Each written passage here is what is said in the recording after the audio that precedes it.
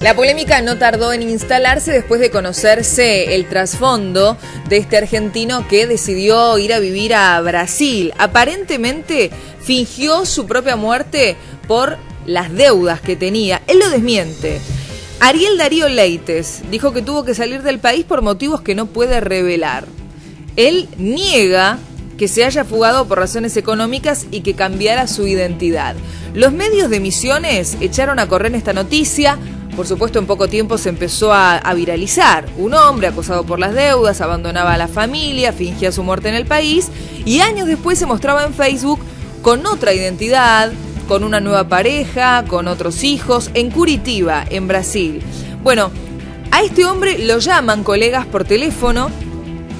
Él dice que nunca cambió su identidad, que su perfil en Facebook siempre fue público, pero sí reconoció que abandonó Argentina sin dar aviso a sus allegados por un motivo de seguridad muy complicado que dice no puede contar.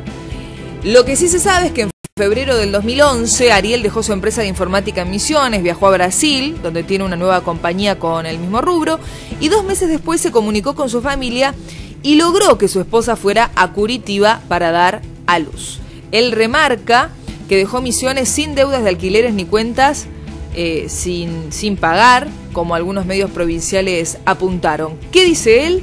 Que lo prueben. Nunca tuve mucho dinero, pero no tenía deudas. Él niega entonces que se haya escapado a Brasil para no hacerle frente a las deudas y haber fingido su propia muerte. Él lo niega. La justicia deberá investigar.